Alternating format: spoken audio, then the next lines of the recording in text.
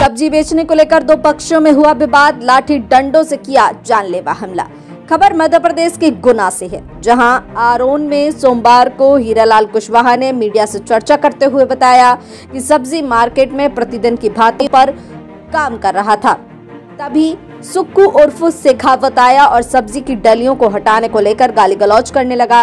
जब गाली गलौज करने का विरोध किया तो सुक्कू के साथ करीब आधा दर्जन लोग लाठी डंडे लेकर पहुँचे और हीरा लाल व उनके परिजनों के साथ सुक्कू के पुत्र ने मारपीट की, जिसमें एक लड़का गंभीर रूप से घायल हो गया, जिसको सामुदायिक स्वास्थ्य केंद्र भेजा गया। वहीं हीरालाल ने पुलिस पर भी आरोप लगाए हैं कि इतनी बड़ी घटना में पुलिस ने मामूली धारा में मामला दर्ज किया है। जिसके चलते काफ़ी रोष है। जानकारी लगने पर विश्व हिंदू परिषद, बजरंग दल ने पदाधिकारी मौके पर पहुँचे।